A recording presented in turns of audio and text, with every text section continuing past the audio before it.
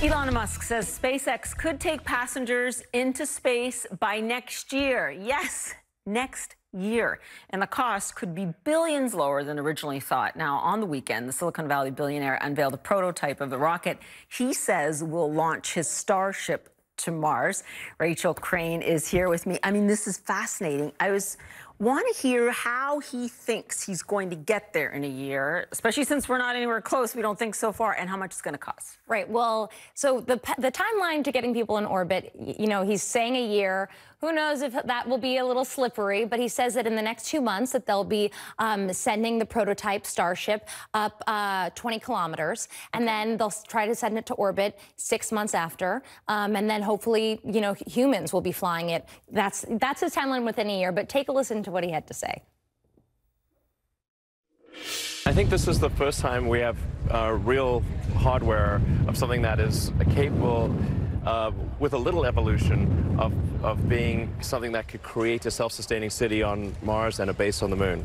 And Absolutely. You, you said tonight that you might be flying people in a year in this thing? If the development continues to improve exponentially, then I think uh, we could we could be sending people to orbit before the end of next year. Mm -hmm. You know, within a year approximately. But SpaceX hasn't put a human in space yet. How are you guys going to do this in a year? Well, we will be putting people into orbit soon. We will be transporting astronauts for NASA in probably I don't know, three or four months to the space station. Yeah, on that point, uh, NASA Administrator Jim Bridenstine tweeted yesterday saying that yeah. he was very excited about the event today, but he also said, quote, commercial crew is years behind schedule and it's time to deliver. Did you take Did that? say commercial crew or SLS? He said commercial oh, crew. okay, jeez. I mean, interchangeable. no, but how do you respond to that? And did you take that as a dig? um, well, I mean, first of all, everything in aerospace is years behind, okay? It's really a question of, relatively speaking, which one is more late. Uh -huh. um, so the, the hardware for the high-altitude abort demonstration for Crew Dragon will be there in October. The uh, hardware for the first crewed flight um, will be there in November. Um, and so most of the work that is required from now through uh, flight of NASA astronauts is um, a, a, long series of safety reviews. So it's, it's not really hardware related. Um, and it's really going as fast as we can make it go. If there's some way to, to make it go fast, I would make it go faster. Let's talk about funding. You've said in the past that Starship would cost between two and ten billion dollars. You still looking at that price tag?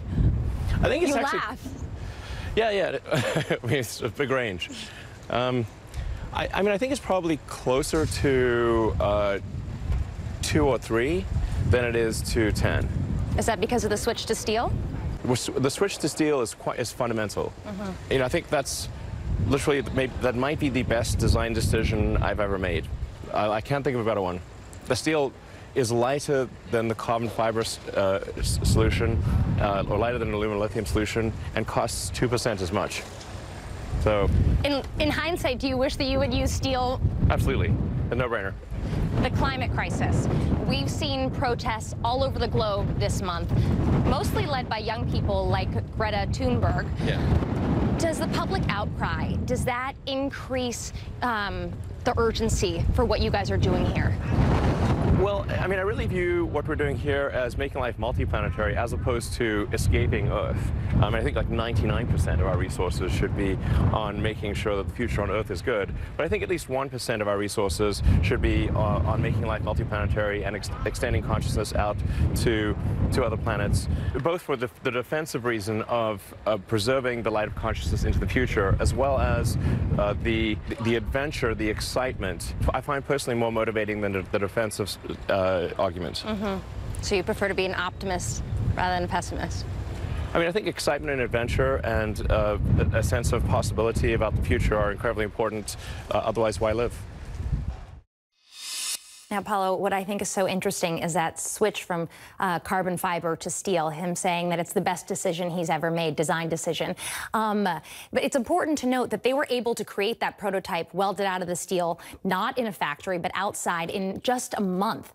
Um, so it just shows how easy it is to work with this material. And also, carbon fiber costs about $130,000 per ton. But steel, it's just $2,500 a ton. So that's how they're able to, or Musk says that they'll be able to keep the budget closer to two to three billion versus that 10 billion number. Yeah, and, and, that's extraordinary that that has been obviously such a component of why he's able to get there sooner and keep the cost down. So you guys were in Texas. You were, it was obviously very warm there. You yes. were telling me, how does Texas feel about being at the very center of all of this? Well, so where this location, this factory for SpaceX is located, it's in Boca Chica, Texas. It's right outside of Brownsville, about 45 minutes. But there is a town in Boca Chica. There are residents living right there, and this prototype is in their backyard or front yard, depending on where. where you can literally open li up. Oh, no, no, I was in some of their residents' homes. You see it from their living room. Gosh. You see it from their kitchen. And not only do you see it, like they have to vacate anytime they're doing a serious right. test.